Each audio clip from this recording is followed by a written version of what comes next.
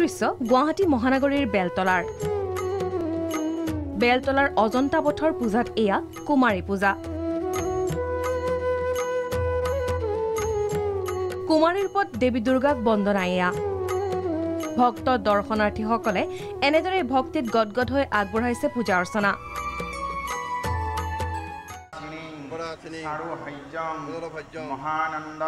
হেৰি বুলি ভাবিলে তেওঁ কুমাৰীক তেওঁৰ এটা ৰূপ বুলি লৈ তেওঁ পূজা কৰা হয়। সেই কৰি পূজাৰ শেষৰ সময় সময়ৰ আগতেই কুমাৰী পূজাটো আমাৰ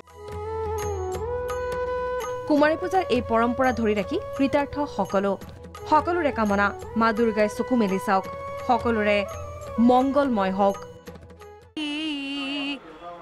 ভৱানী জগজননী जग जानी महिषा सुरमर्दिनी जग जननी जग जानी महिषा सुरमर्दिनी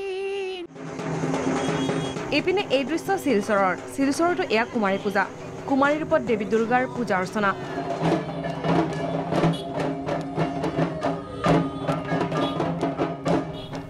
দেৱীৰ ৰূপত সজাই পৰাই তোলা হৈছে এইগৰাকী কণমানিক ইপিনে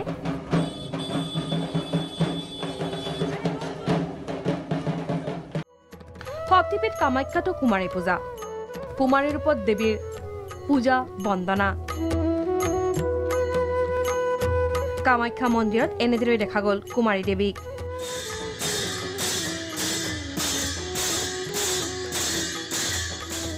মন্দিৰ প্ৰাংগণত ভালেকেইগৰাকী কুমাৰী দেৱী। সকলোকে সভক্তিৰে পূজা অৰ্চনা যচা হৈছে। ইয়াৰ সমান্তৰালভাৱে মন্দিৰত যথেষ্ট সংখ্যক ভক্ত দৰ্শনাৰ্থী। আচলতে দুৰ্গা পূজা উপলক্ষে এইকেইদিন মুখৰিত হৈ আছে কামাখ্যা মন্দিৰ প্ৰাংগণ।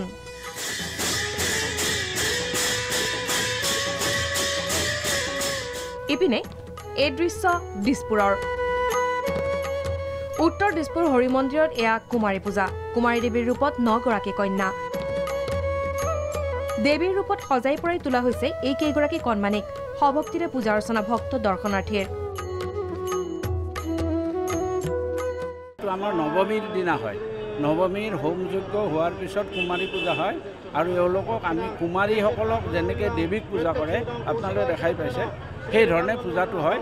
আৰু এইটো আমাৰ হৰি মন্দিৰৰ এইটোৱে বৈশিষ্ট্য যে ইয়াৰ সকলোবিলাক পূজাই নৈষ্ঠিকভাৱে আৰু নিয়মমতে হয়। ইয়াত বাহুল্যতা নাই আৰু কোনো উৎস মানে ইয়াৰ মানে এইখন দুৰ্গা পূজাহে দুৰ্গোৎসৱ নহয়। দিনাখন নগৰাকীক পূজা কৰা হয়। আপোনালোকে দেখিলেই কেনেকৈ বিধিমতে পূজা ভাগ কৰিছে। খুব ভাল লাগে। তেওঁলোকৰ পৰা আমি আশীৰ্বাদ ল'বলৈ ইচ্ছা কৰোঁ আৰু এইটোৱে এই পূজাৰ বিশেষত্ব। এনেদৰে কুমাৰী পূজাত দেখা গ'ল যথেষ্ট সংখ্যক ভক্তৰ ভিৰ। কুমাৰী দেৱীক পূজা কৰি কৃতাৰ্থ সকলো ব্যুৰ ৰিপৰ্ট প্ৰাগ নিউজ।